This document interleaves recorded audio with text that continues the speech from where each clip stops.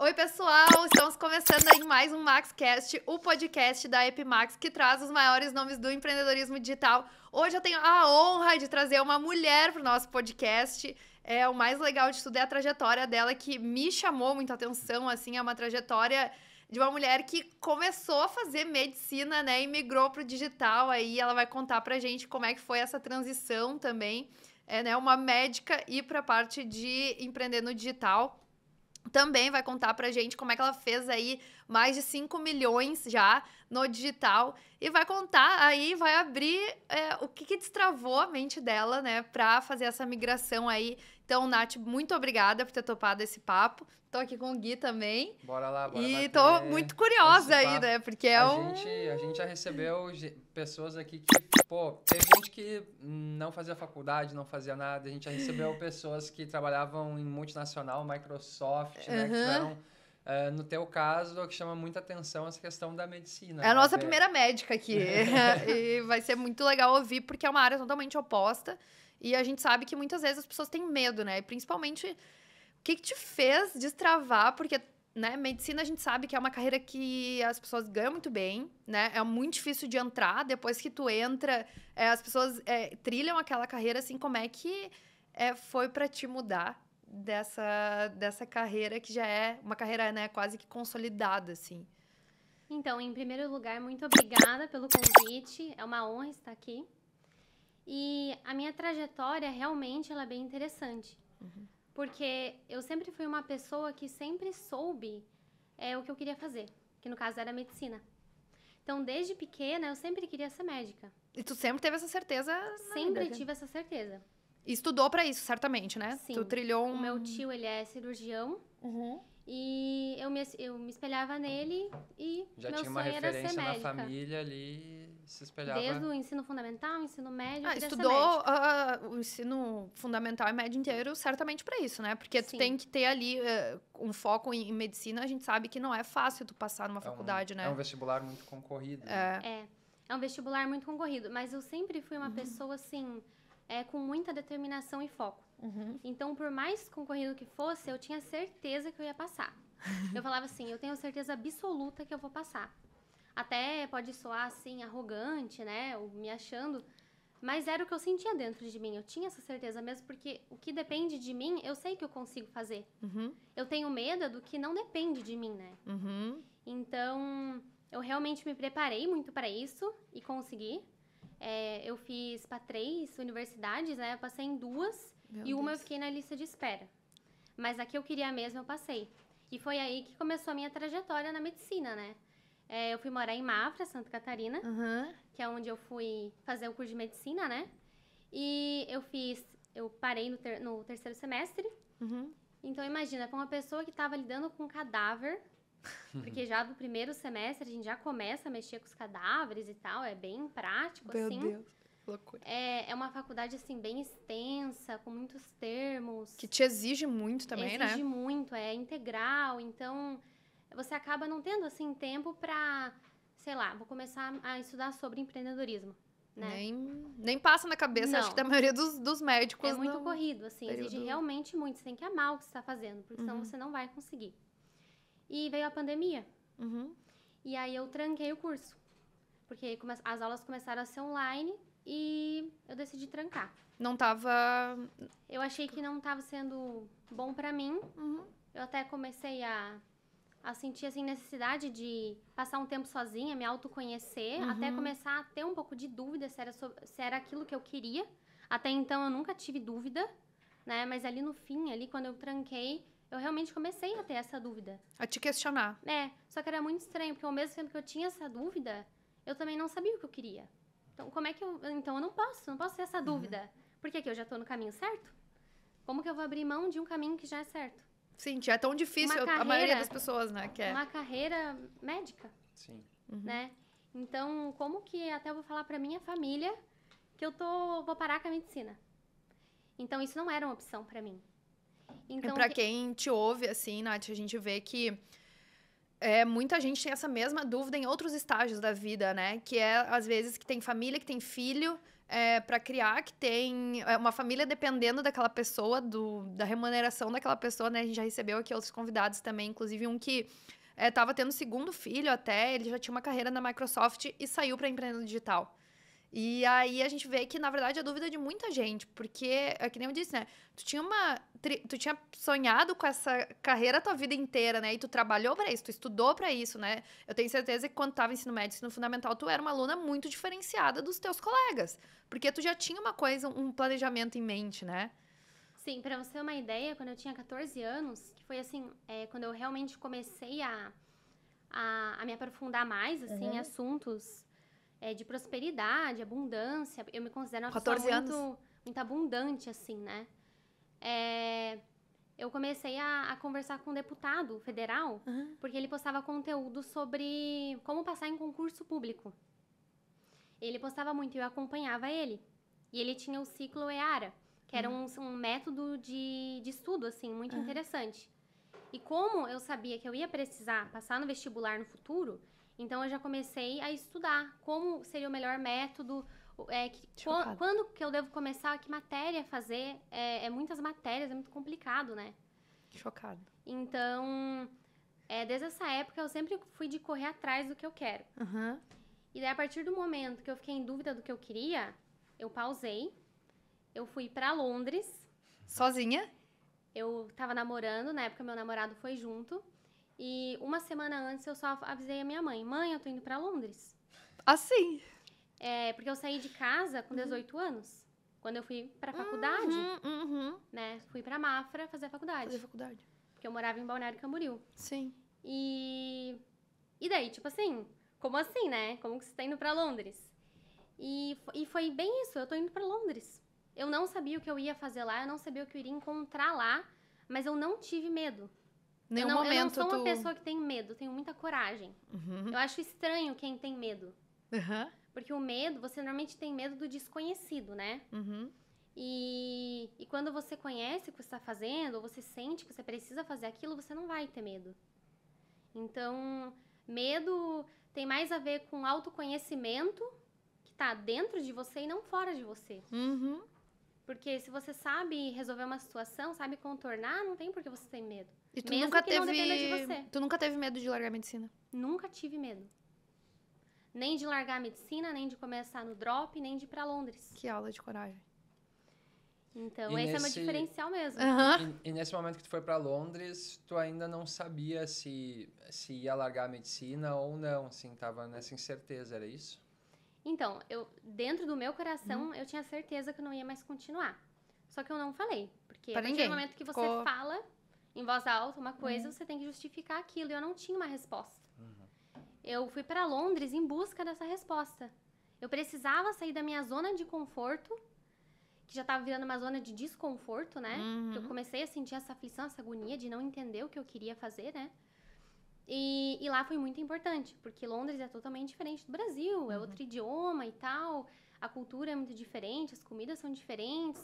Então lá eu me desenvolvi muito como pessoa, como ser humano, assim. E isso é, foi consequência também do meu resultado no drop.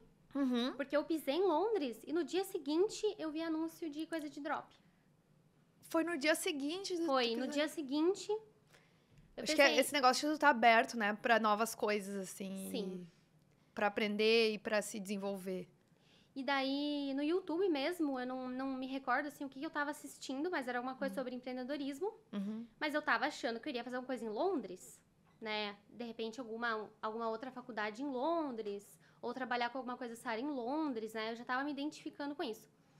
Mas eu nunca imaginar é, como foi tudo que aconteceu, né? Que ia ser tão rápido, é, que eu ia conseguir, né? Eu sempre acreditei em mim, eu sabia que eu ia conseguir, mas eu não tinha certeza de quanto tempo isso poderia levar.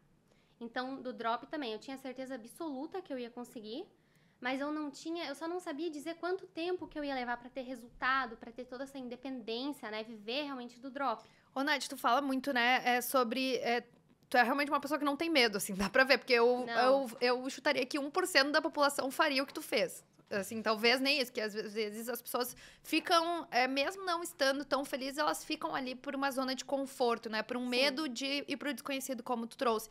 É, como as pessoas que estão nos ouvindo, assim, podem tirar essa trava, né? É, tirar o medo da frente e realmente fazer o que elas têm vontade de fazer, né? Seja empreender, seja mudar de emprego, seja sair daquele, daquele lugar que elas estão e ir para um outro lugar, né? Então, se você sente medo, alguma coisa dentro de você está errada, não fora de você. Uhum. Então, o primeiro passo é o autoconhecimento e você ter a ciência do que está acontecendo no teu interior. Uhum. A partir do momento que você identificar o teu medo, ah, o teu medo é de sair do emprego, é de começar uma carreira nova, qual que é o teu medo? Uhum. Você tem que entender qual que é o teu medo. E daí começar a entender também os caminhos para isso, né? E, por exemplo, quando você vai começar uma nova carreira, uma profissão no uhum. digital, por exemplo, você precisa estudar muito, né? Uhum. Então, quando você sentir medo, comece a estudar. Comece a se autoconhecer, estudar e aplicar. Uhum. Porque não uhum. adianta você estudar e não aplicar. Vai o cérebro, ficar... ele não absorve. Chega um ponto que você começa a esquecer de uhum. tanta informação, né? Então, não tenha medo. Não tem por que você ter medo. Uhum. O que você controla, não tem por que você ter medo. E a tua vida tá sob seu controle. Eu espero que sim, né? Eu espero Se que não sim. tem alguma coisa errada, né? Então você deve parar e pensar no que você tá fazendo uhum. com a tua vida, uhum. que a vida uhum. também é só uma, né? Uhum. E o que você tá fazendo com o teu tempo. Porque se você tiver medo, com certeza alguma coisa está muito errada. Demais. E aí você falou, bom, chegou lá em Londres, aí você põe um anúncio ali, algum vídeo no YouTube falando, né, sobre Comecei o, sobre o drop. E aí logo em seguida aquilo já te chamou a atenção e tu começou uhum. a estudar. Porque é uma coisa que me chama atenção, assim, se a gente pegar a trajetória, é, para medicina você tem que estudar muito. Aí você se preparou. Tu já tinha essa rotina, né, de estudo, de, pô, eu vou aprender, vou aplicar, vou, vou me organizar para estudar. Como é que tu utilizou isso, assim, e que dica que tu pode dar, talvez, para o pessoal que está começando também, é, né, nessa questão de organização, de estudo, de aplicar. Porque quando a gente entra nesse mercado, a gente se depara com muita coisa diferente, é, vários é, caminhos para trilhar. Como é que né, tu já conseguiu focar em um, aplicar e, e ter esse resultado tão rápido? Deixa eu só perguntar uma coisa antes. Quanto tempo tu demorou para ter o resultado depois que tu viu esse primeiro vídeo aí? Esse primeiro anúncio. Resultado expressivo, seis meses. Não, é, mas tipo, primeira venda, assim, primeira. Uns dois meses, assim. Foi muito rápido, é. Muito é. rápido. Porque assim, eu não tinha nenhum networking na área. Nada. Eu não conhecia ninguém que fazia, eu nunca tinha ouvido falar sobre. Então foi uma coisa realmente do zero, que eu nunca nem cogitei fazer, nem sabia que existia isso. Então eu também estudei sozinha. Comecei pelo YouTube, depois comprei um curso um curso assim para ter uma, uma base, né? básico, uhum. Mas foi no campo de batalha, foi na prática que eu realmente aprendi. Uhum. E quanto mais eu estudava, mais eu sabia que eu estava no caminho certo. E eu sempre tive certeza de que eu ia conseguir. Então, eu acho que isso que é uma dica, né? Uhum. Você tem que ter certeza que você vai conseguir. Por que, que você não iria conseguir? Sim. Se até tu duvidar que tu vai conseguir, tu não vai conseguir mesmo. Você nunca vai conseguir. É. É. Então daí nem comece, então. Isso aí, nem, nem começa, nem, nem, nem perde teu tempo, você né? não vai conseguir, por que, que você vai começar? É isso aí. Mas o que que te impede de conseguir, né? É estudar? Tá, então estuda. É, começa, adquirir, começa. é aplicar, então aplica, né? Você precisa dar o primeiro passo. Uhum. Eu vejo assim, que quem tá começando, é, antes de começar, já começa a tentar criar problema. Tipo assim, ai, mas eu acho que eu não vou conseguir minerar produto eu acho que eu não vou conseguir fazer tráfego, eu acho que vai ser muito difícil, de repente eu não vou conseguir conciliar com o meu trabalho. Ou, ai, será mesmo que isso funciona? Então, você precisa dar o primeiro passo. E o uhum. primeiro passo é, o passo mais importante que tem. Porque sem o primeiro passo, você jamais vai chegar onde você quer chegar. Uhum. O resto é consequência. Você vai aprender no seu tempo. Você não precisa virar o Einstein em um mês. Uhum. Mas se em um ano você conseguir ter resultado, já tá, tá no, já tá no lucro. Sim, conseguiu, né? Você conseguiu. E quanto teve de resultado, assim, nos primeiros seis meses? Nos primeiros seis meses, eu acho que foi em torno de 200 mil. Aham. Uhum. E, e ali batendo ali uns nove meses, nove meses não, é, oito meses, eu uhum. acho, aí eu já tava batendo um milhão. Foi, foi um salto. Dos 200 para um milhão. É, foi um salto, assim. Qual que foi o diferencial, assim, para fazer esse salto? A gente podia voltar talvez até um pouquinho mais, né? É, hum. Esse primeiro salto de... Porque 200 mil já é uma marca muito expressiva ali para o começo, né? A gente, Com certeza. Pô, é, um, é um faturamento para quem tá, tava no início ali. Sim. É, Nunca tinha ouvido falar. O, teve, tiveram algumas chaves, assim, que foram virando, que tu foi al alcançando, que de repente dá pra gente trazer alguns marcos ali. Por exemplo, pô, achei um produto, entendi um pouco mais, né? Encaixei a copy, uh, acertei um criativo, sabe? O que, que foi, que né? Que foram virando nesses 200 mil e depois algumas que foram virando para chegar no, no milhão. Porque às vezes a gente começa a olhar e ver, pô, é um detalhe aqui, um detalhe ali. Só que são esses detalhes que às vezes fazem toda essa mágica acontecer, né? E pra ti, assim, como é que foi essa caminhada? Então, na verdade, assim, em primeiro lugar, eu acho que foi o produto. Porque eu não sabia fazer uma mineração correta. Eu não. Eu testava uns produtos que que hoje em dia eu já não faria, entendeu? A gente Pra quem noção... tá nos ouvindo, que, pro, tipo, que produto, assim, não testaria? Que eu não testaria? É. Hoje, o que eu não testaria uhum. são coisas, assim, muito óbvias, né? Tipo assim, uhum. ai, um fone Bluetooth, um smartwatch... Uhum. Sim, que já tá num... Que tu encontra pra vender. quem tá começando, né? Uhum. Porque vai pegar um leilão muito concorrido e tal, já, né? É muito acessível, tem muito site vendendo, tem muita loja física vendendo, então... Sim, então a concorrência já é muito maior do é que... É muito maior. Não que você tenha que achar um produto... Que ninguém vende também, né? Um produto, sim, uhum. maravilhoso, mas pense num produto, faça uma mineração, pensa num produto e começa. Uhum. Não fica se preocupando com o processo, que o processo ele vai ocorrer naturalmente, né? Você vai se especializando é, na mineração, no tráfego, na copy, em criar oferta... É um processo natural, né? Uhum. E cada um tem o seu tempo. E quando tu fez esses 200 mil, assim, o que, que tu acha que foi o diferencial? Que tu acertou, é, que que estavam travando antes, né? Então, o que estava no começo, o que uhum. mais travou foi o produto. Produto. Em errado. segundo lugar, foi que no começo uhum. é, eu terceirizei o meu tráfego. Uhum. E foi o maior hum. erro que eu cometi. Legal, é. Genial. Que o tráfego Baita acho que é, o, é, um coração ali da, da é operação, coração. né? Se, hum. se eu for bom em tráfego, acho que eu consigo vender talvez outros produtos. E, e aí tu terceirizou. E aí? Para você ter uma ideia, ah. nesses meses, eu passei por três gestores de tráfego. Tá.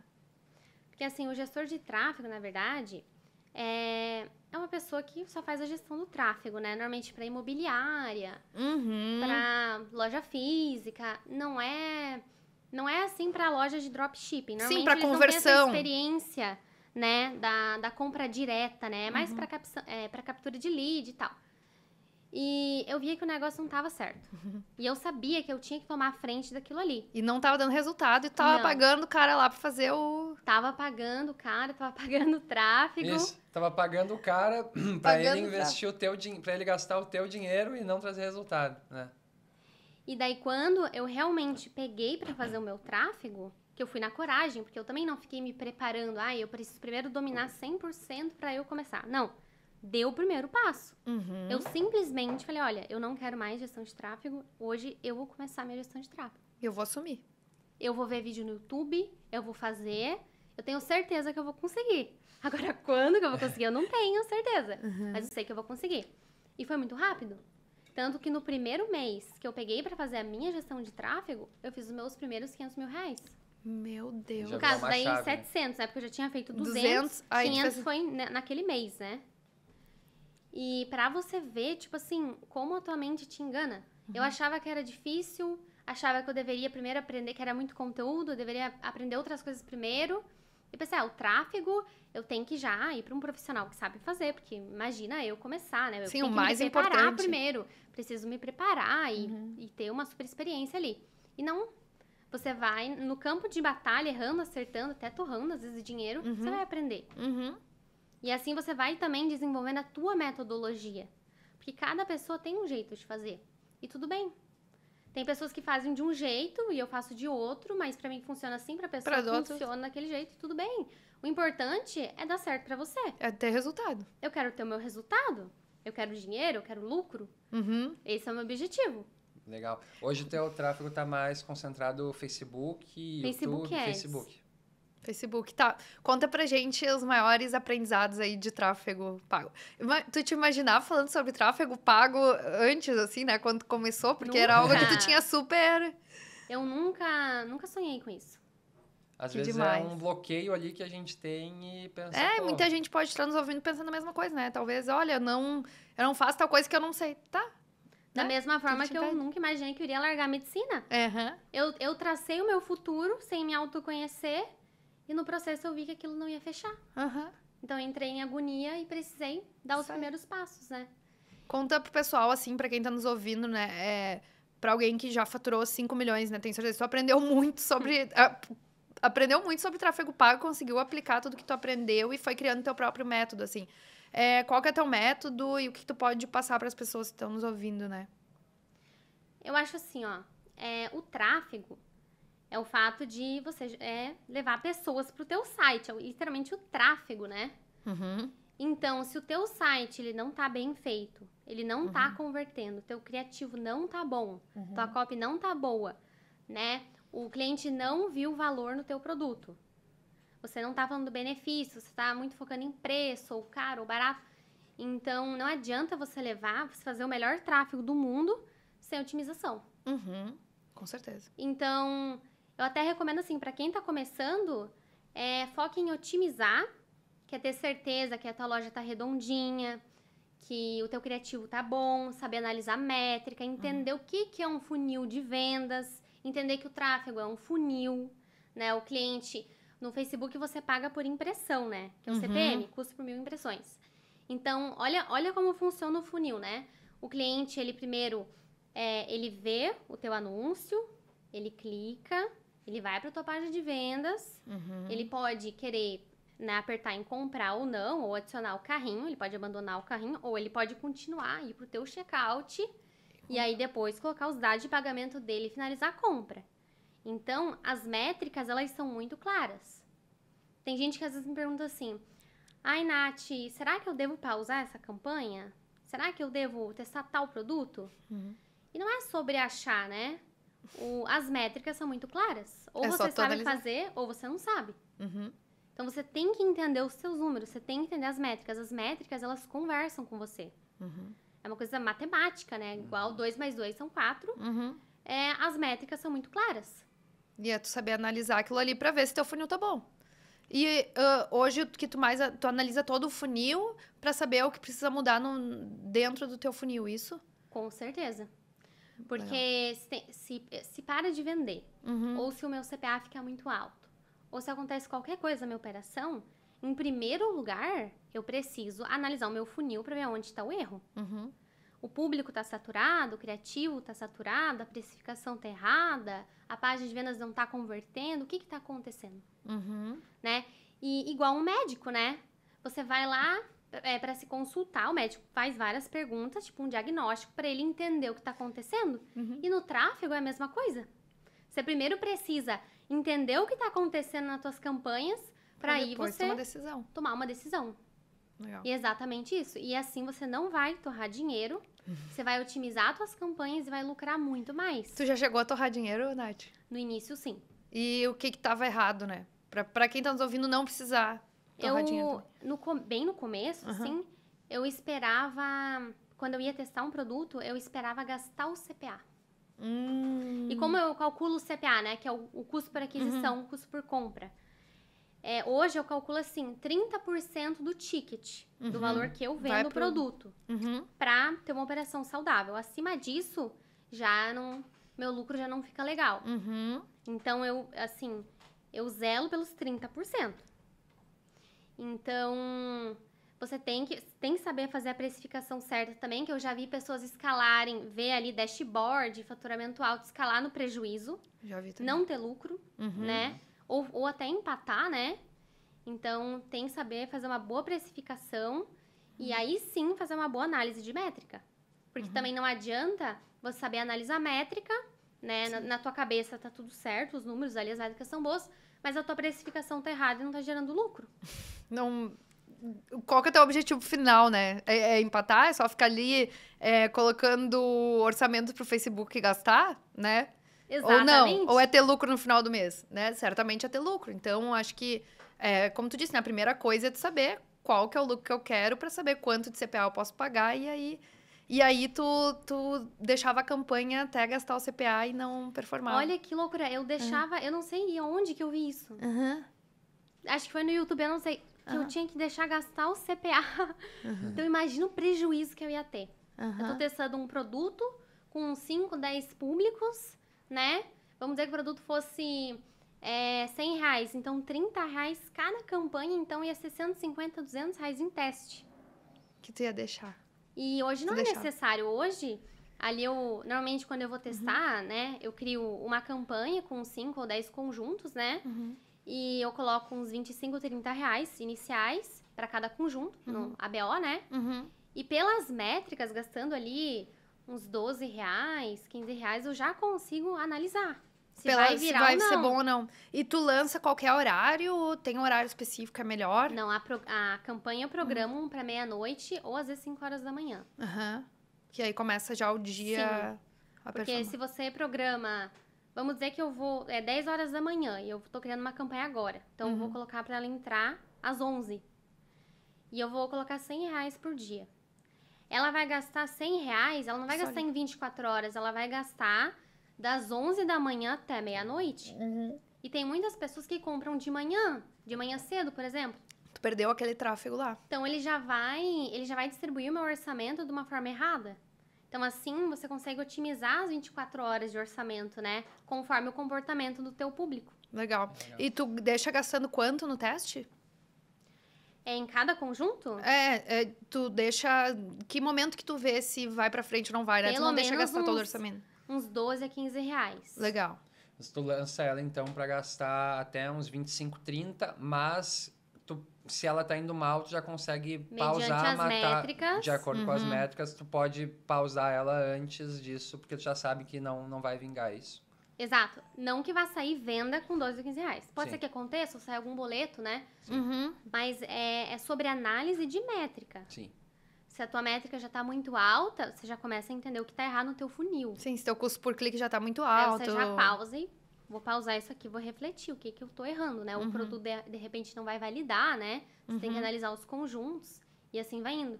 E eu vejo que a, a dificuldade, assim, pra quem tá começando é achar um produto, né? Não saber testar, torrar dinheiro, a pessoa começa com pouca verba, Ou, ou testa, o produto é bom, mas ela não sabe analisar as métricas e acha que o produto não é ruim. sabe analisar métrica, Uhum. ou tem medo de escalar. Tem gente que já, já chegou assim, falar pra mim, pessoa com resultado, Uhum. tá? Uhum. Ai, mas você não tem medo de escalar? Você não. Como é que é? Você vai escalando assim? Como é que você faz? Daí, como que eu vou ter medo de escalar? Eu Você tenho medo é de não, não conseguir É porque escalar. tu tem muita segurança nessa análise das métricas, né? Então, Exato. quando você tem segurança, consegue fazer essa análise, aí acho que fica muito mais fácil Uhum. esse processo de escala. Teu medo é não conseguir escalar. Mas é claro! Imagina se eu não vou conseguir escalar. Aí sim que eu vou me preocupar, Aham. né? A pessoa, então, tá com algum problema na análise das métricas dela. Ela não tá conseguindo entender se aquilo lá tá sendo lucrativo ou não. Aham. Ela não tá entendendo o funil dela. O funil ele é muito claro, né? Ela entenda as métricas, pensa no processo do cliente quando ele vai fazer uma compra, né? Que ele dá com o celular dele, vai aparecer ali, ele vai clicar, vai entrar no teu site, vai ver a tua página de vendas, vai ver o preço ali, vai ler, vai apertar para comprar, vai adicionar o carrinho, aí vai pro teu checkout. Então, pensa nesse processo, imagina isso e olha tuas métricas. Uhum. E associa cada etapa a uma uma métrica. A partir do momento que isso for muito claro para você, você nunca mais vai ter dúvida sobre análise de métrica. Sobre escalar, ou pausar, ou. Você tá, tá sob seu controle. A tua operação tá sob seu controle ali. O dinheiro é teu também. Se E você aí? quiser deixar gastar o CPA, se tiver medo, Tá bom. tudo bem, mas a métrica é clara, né? E, ô, Nath, conta pra gente é, esse processo de escala, como que foi, né? Quando tu acertou o produto, assim, e tu falou, eu não tenho medo de escalar, porque eu sei das métricas agora e eu sei o que eu preciso, o que eu preciso fazer, né? Como é que foi esse processo de escala? Eu meti marcha. Vambora, vou gastar o... eu sou muito assim, tipo assim, eu não, eu não espero muito, não. Aham. Se eu já, já, tô me, já tenho confiança naquilo que eu tô fazendo, né? Na parte ali de, de ter Uhum. estudado, né? Não ter medo, que medo tá relacionado à falta de conhecimento. Eu vou lá Vambora. e faço. E tu, e tu escalou no Facebook, é, tu lateralizou, tu subiu o orçamento, como é que A foi? minha primeira escala. Aham. A minha primeira escala eu não tinha contingência. Eu nem sabia o que, que era isso. que foi no meu primeiro mês que eu comecei a fazer tráfego. Então, foi no meu perfil pessoal do Facebook. Aham. E, e, nossa, com esse perfil eu fiz mais de um milhão. Eu gastei, eu investi em ads 300 mil reais nele. Com o teu perfil pessoal. Aham. E du- Ele, ele durou, tipo assim, uns dois meses por aí. Um mês e meio, Aham. dois meses. Aham. Porque daí foi 500 mil, e E depois foi. mais um pouco, e aí depois ele bloqueou. Aham. Aí eu comecei a pegar perfil da minha família, né? Da minha mãe, da minha irmã, do meu pai. Vende todo mundo. Só que aí eu me deparei com um problema. Uhum. Os bloqueios continuaram. Então eu precisei entender por que que tava bloqueando. Porque tem pessoas que, né, a gente fala que é normal levar bloqueio no Facebook e tal. Só que é normal no sentido assim, de você entender por que, que você levou esse bloqueio e tentar não cometer esse erro, né? Ou ter a contingência, ter ali as atitudes certas pra isso não acontecer mais. Uhum. E eu não buscava entender isso. Eu levava um bloqueio, achava que o problema era do Facebook. Já subia tudo Ah, igual. esse Facebook aí, É normal. a culpa é do Facebook. A culpa é do Facebook. Facebook me bloqueou aqui. Vou achar mais perfil, vou achar mais conta. E aí chegou um ponto que eu não tinha mais perfil.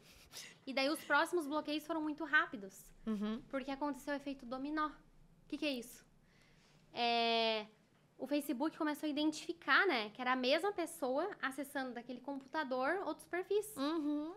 Então, se você já levou bloqueio, você não pode mais anunciar. Do teu computador, do, daquele. É, e daí ele page. associou e foi dando efeito dominó. Todos os outros perfis foram bloqueando também. Daí Uhum. muito rápido. Aí que eu fui me aprofundar em contingência. Aí, como que eu faço a minha contingência Uhum. hoje, né? Que na verdade é uma contingência básica, não é nada super elaborado, né? É, eu uso multilogin, Uhum. Que no caso hoje eu uso o Dolphin, Uhum. mas tem várias, tem o Lauf, tem várias ferramentas de multilogin. Inclusive, multilogin é uma É ferramenta uma também. Aham. Pra quem não sabe, o multilogin, ele funciona assim, é, você coloca, né, instala ele no seu computador e você vai adicionando os perfis ali dentro. E cada perfil é como se fosse uma máquina diferente, ou seja, é como se você estivesse acessando cada perfil de um computador diferente. Sim. Diferente do que tu acessou o computador, o perfil de toda a tua família pelo teu computador. Exatamente. Mas aí é interessante, porque não adianta Uhum. é, a pessoa tá usando vários computadores, né? Uhum. Tá camuflando ali o seu computador, mas você tá usando tua rede Wi-Fi. É a mesma pra O todos? mesmo IP com vários computadores? Peraí, é a mesma pessoa também. Então aí entra o 4G. Eu comecei a utilizar o 4G também. Não adianta você usar multilogin sem 4G, nem usar 4G sem multilogin. Uhum. Porque aí uma coisa vai dar errado, né? Uhum. Então tu bota 4G e, e pega. E aí tu criou várias contas agora com o multilogin. Sim, E aí foi quando tu conseguiu escalar de novo? sim. E outra coisa, assim, que foi muito importante no meu processo, foi até por conta dos bloqueios e tal, mas não depender só de uma conta de anúncio.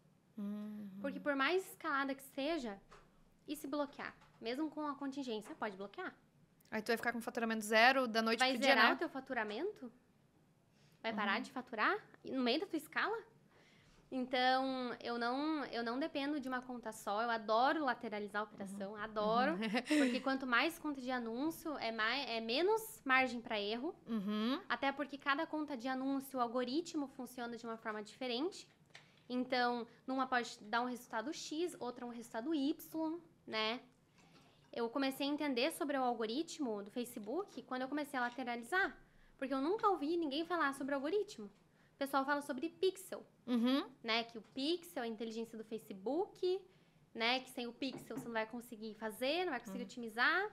Mas pra mim isso é a maior besteira que existe. O pixel ele é tipo um guarda-roupa, ele só serve pra você ir armazenando dados. Você tendo esses dados, você pode criar públicos, né? Fazer remarketing, lookalike, Uhum. público personalizado, porque você comprou, você comprou aqueles dados, né? Mas um pixel novo não significa que você não vai ter resultados, não tem Uhum. absolutamente nada a ver. Sim, muita gente se desespera e fala: Ah, meu Deus, perdi o pixel e agora, né? é, ferrou, agora não tem mais nada. Não, calma. Daí o Facebook vai aprender de novo, vai armazenar novos dados e tu, né, e tu vai conseguir trabalhar com aquele Exatamente. Público- E é bom porque aí você vai testando novos públicos também. A ideia é você Uhum. sempre estar testando novos públicos, né? Uhum. Você não pode Então- depender de um público só. É, comendo um pouco para pro pessoal essa parte dos algoritmos, né? Então, é, o algoritmo do Facebook, ele, é, ele funciona mais ou menos assim. É, cada conta de anúncio tem o seu algoritmo, que ele pode distribuir o orçamento da tua campanha em horários diferentes e também ter alcance diferente. Uhum. Porque quando você cria um público, ali do lado vai aparecer o tamanho da audiência.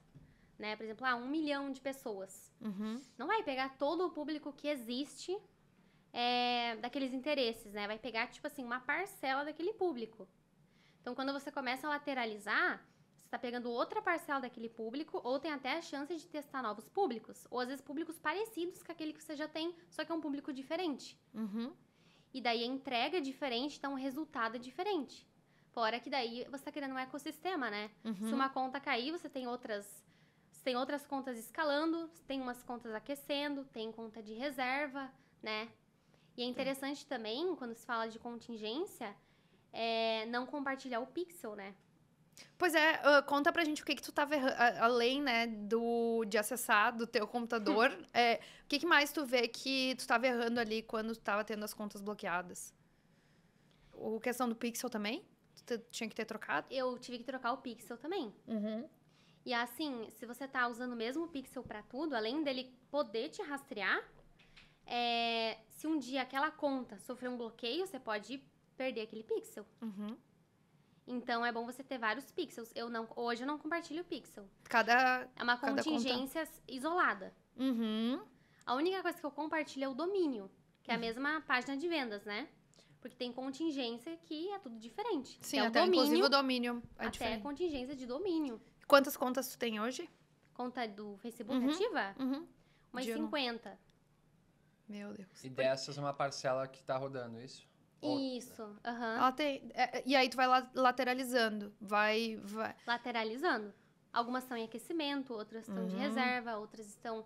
Tô escalando, outras eu tô testando público, ou testando produto. E tu consegue... Tu tem pessoas que te ajudam no tráfego hoje? Ou é Não, tu? hoje eu faço meu tráfego. Eu já deleguei tudo, praticamente tudo, mas o, o meu tráfego hoje eu não contigo. consegui delegar ainda.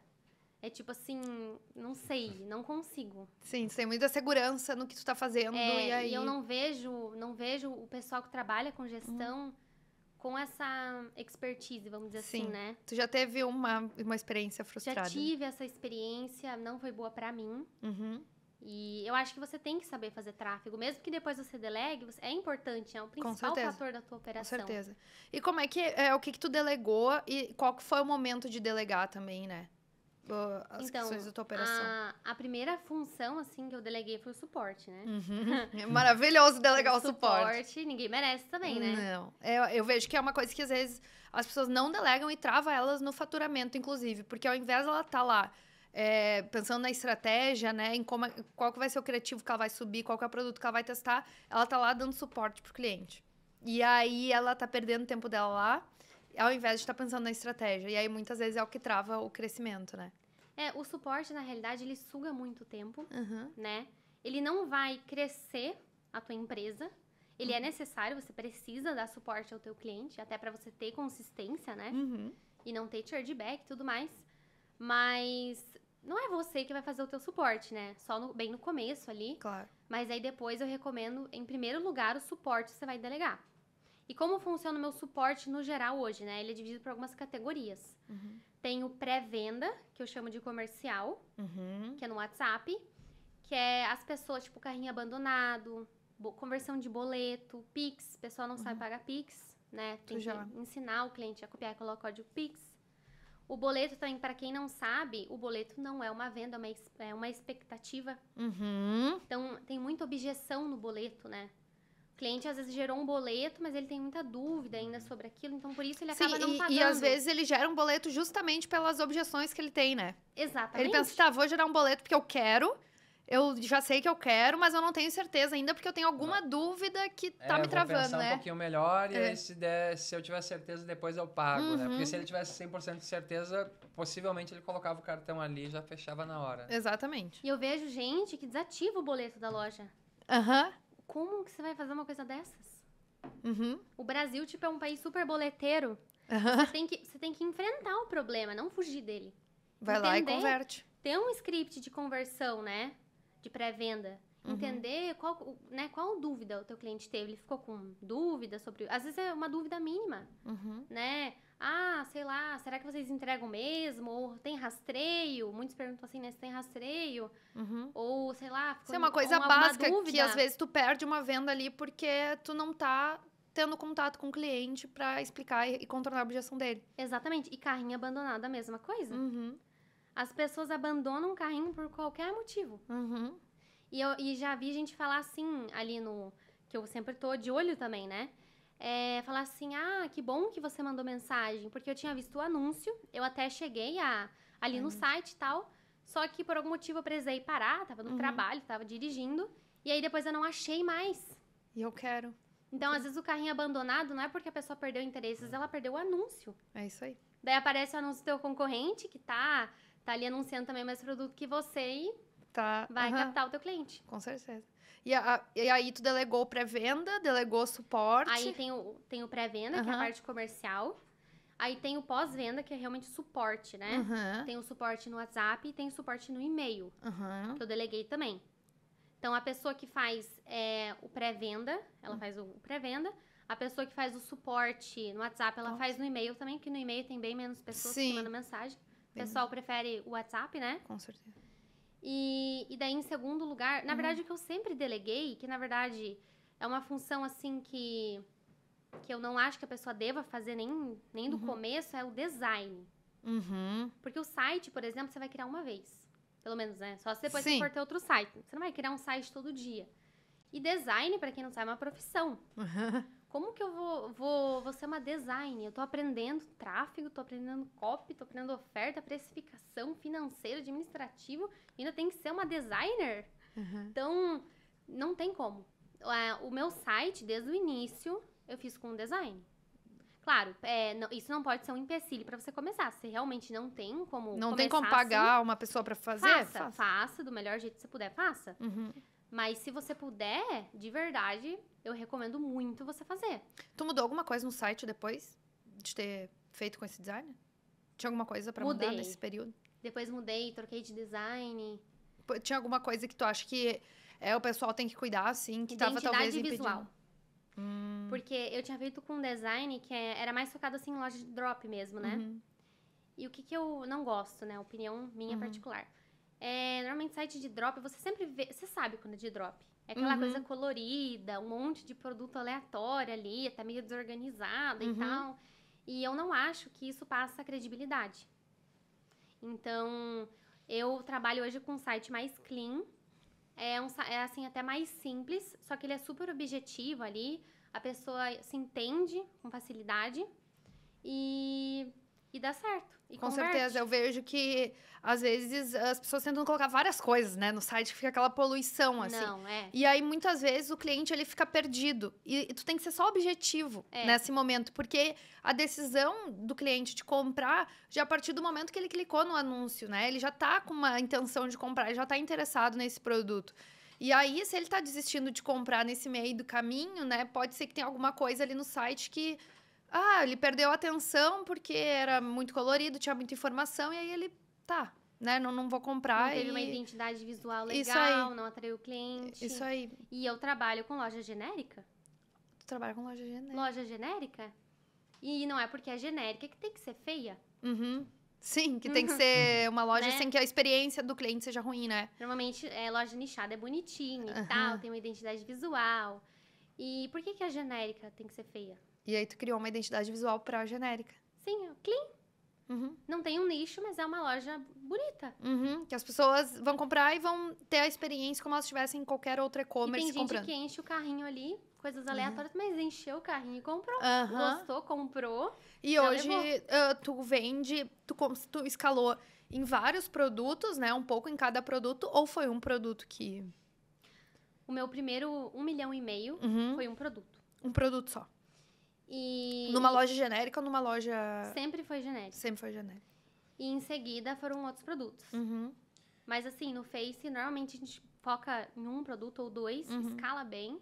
E aí depois é pro próximo. Eu não, Uhum. não consigo, tipo, administrar vários, pro- Dez vários produtos produtos ao escalando. mesmo tempo. Sim. Até porque eu lateralizo a operação, né? Uhum. E hoje a tua energia maior, ela fica na parte de tráfego, na parte de testar produto, né, minerar. Onde tu vê, assim, agora que tu já evoluiu bastante a operação, tem essa, né, terceirizou algumas coisas, é, onde fica mais concentrada a tua energia hoje? No tráfego Uhum. e na, na questão financeira ali, né? No administrativo. Olhando pra. Olhando pra margem de lucro no final do E mês. uma função que eu deleguei, que eu Aham. esqueci de falar também, é que eu tenho uma pessoa que cuida, tipo assim, da, dos pedidos, das planilhas, código de rastreamento. que Isso também é uma coisa que leva tempo, né? Com certeza. É como se fosse um suporte também, você precisa ter tudo organizado e tal. E é como tu disse, né? É tudo aquilo que não te traz um retorno direto na, na tua operação, né? Tipo, o tráfego te traz um retorno direto, né? É, é o que determina se tu vai escalar, se tu não vai. Se tu vai conseguir ãh, ter lucro, não vai. Porque às vezes tu vai lá, deixa lá gastando uma campanha que, que tu olha as métricas e tu diz... Meu Deus, como é que isso aqui tá, tá de pé ainda, né? E aí é algo direto do teu negócio, né? Diferente de um suporte, diferente de um pós-venda que tu pode contratar uma pessoa para fazer e não vai ter um impacto direto. É claro que tu deve controlar, tá ali próximo, mas não precisa ser tu respondendo, né? Sim, é. Hoje eu tô trabalhando mais com essa parte realmente do crescimento, né? Uhum. Crescer o meu lucro, o meu faturamento, Legal. trabalhar com mais produtos, dominar outras fontes de tráfego também, que eu tenho essa vontade. Uhum. Vai Então, te- eu não posso focar em coisas que não vão trazer o meu crescimento. Porque isso já tem pessoas que podem fazer. Eu posso ensinar esse processo e essa pessoa pode fazer. Com certeza. E se tivesse uma dica, né? Se pudesse dar uma dica pra Nath lá de quando ela começou, assim, que dica tu daria? Ah, tipo assim, acorda pra vida, menina. acorda pra vida. É, não adianta você querer decidir teu futuro. Calma, teu futuro não aconteceu ainda. Aham. Foca no teu presente. Né? Tem pessoas que planejam tanto o futuro e quando vê, chegou lá no futuro e ainda tá planejando o futuro. Uhum. Então, calma. Vamos fazer hoje, vamos determinar hoje. Amanhã a gente vê o que vai acontecer. Uhum. Então, isso que aconteceu comigo, né? Que eu achei que eu ia fazer medicina e no final aconteceu totalmente diferente. Uhum. E quando eu dominei isso, esse autoconhecimento dentro de mim, foi aí que as coisas foram fluindo. Como que foi pra, pra tua família, assim, é, quando tu desistiu da medicina? Então, é, a- no caso assim, a minha mãe e meu pai, que eu meio do- dei satisfação na época, né? É, eles super apoiaram, porque quando eu falei que eu não iria retornar pro curso, eu já tinha feito mais de um milhão. Bem básica. Então, então Tá. tipo assim, o resultado já Fala por si só, né? Tá não aqui. precisei falar, Uhum. entendeu? E o resto da família, tipo assim, No- Tu não deve satisfação nenhuma, né? minhas contas, É. então não Então, sei muito bem pagas, né? Por, É. por ti mesmo, então. Tem gente também que se prende muito nessa questão da família e tal, e eu Uhum. respeito, né? Tem pessoa que tem muito contato com a família e tal. Mas assim, isso não pode é, deixar de você evoluir. Uhum. Porque às vezes a família tem uma opinião mais antiga, que ai, de repente você tem que é, fazer uma faculdade X para conseguir ter um emprego, para conseguir ter um futuro. E às vezes você se prende a isso, né? Até porque Uhum. um laço familiar te traz às vezes um- uma segurança, né? Uhum. Mas você precisa ouvir o que tá dentro de você e o que você quer. E daí vai da tua família te apoiar e te entender ou não. Mas, Mas, aí vai a seguir. escolha é sua. Sim. É, a escolha é sua. Não vai te travar lá. E, Nath, é, de próximos passos aí, não vai voltar pra medicina, já deu pra ver, já tá Não, muito bem chega. resolvida. Chega. De próximos passos, assim, né? E como que tu vê é, esse teu futuro daqui pra frente? Muita abundância e prosperidade. Eu Uhum. sou uma pessoa muito abundante. Uhum. Tipo assim, eu tenho certeza que eu vou conseguir tudo que eu quero. Eu sou uma pessoa muito ambiciosa. Eu não tô nem perto onde eu quero estar, porque eu penso muito grande. Eu acho que todo mundo tem que pensar assim. Uhum. Não tem por que você pensar. A mesma energia que você vai gastar pensando pequeno, você pode gastar pensando alto, né?